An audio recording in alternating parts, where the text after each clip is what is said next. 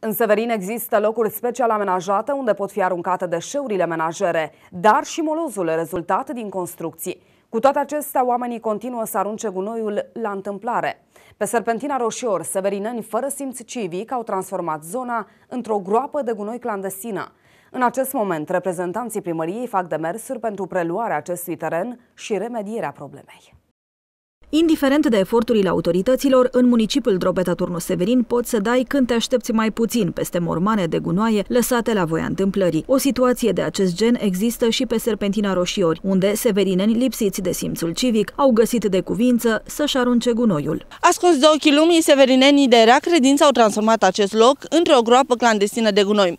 Resturi menajere și moloz. Asta aruncă cei care nu respectă legea. Deși au fost făcute nenumărate acțiuni de ecologizare, oamenii nu înțeleg că natura nu este coșul lor de gunoi. Cine aruncă? Eu nu știu, abar n-am.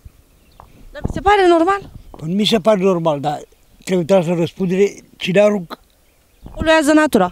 Exact. Terenul pe care sunt depozitate ilegal deșeurile nu aparține primăriei. Reprezentanții municipalității spun că fac demersurile necesare pentru preluarea spațiului și remedierea problemei. În acest moment sunt făcute demersuri de către Unitatea Administrativ-Teritorială, de către primărie, pentru preluarea acelui teren și amenajarea conform unui scop uh, Uh, bine definit. Autoritățile transmit că acțiunile de curățenie vor continua în tot orașul, la fel și sancționarea cetățenilor certați cu legea și bunul simț.